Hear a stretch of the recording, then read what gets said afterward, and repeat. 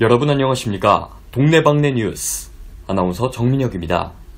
새 영화 소식입니다. 영화 물괴가 긴장감 넘치는 첫 스틸을 전격 공개했습니다.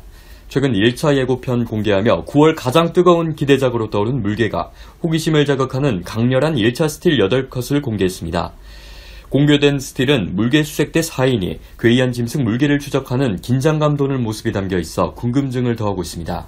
조선왕조실록에 실린 두 줄의 기록에서 시작된 물개는 중종 22년 역병을 품은 괴이한 짐승 물개가 나타나 공포에 휩싸인 조선과 소중한 이를 지키기 위해 목숨을 건 이들의 사투를 그린 영화입니다.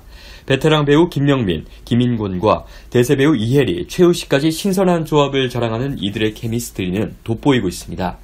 특히 사극장인 김명민은 카리스마 넘치는 눈빛을 발산해 깊은 연기 공력이 느껴지며 김인권 역시 개성 넘치는 매력으로 눈길을 끌고 있습니다. 사극에 처음 도전하는 이혜리는 화를 든 모습에서 진지함이 느껴져 액션 연기에 대한 기대감을 높이고 있습니다. 충무로의 대세 배우인 최우식은 무관 허선전관 역으로 완벽 변신해 시선을 사로잡았습니다. 여기에 박성우, 박희순, 이경영 등 탄탄한 명품 조연들이 가세해 무게감을 더했습니다.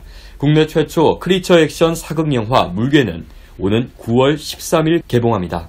사진 출처는 시네그룹, 키다리 ENT, 롯데 엔터테인먼트였습니다. 이상으로 동네방네 뉴스 아나운서 정민혁이었습니다. 고맙습니다.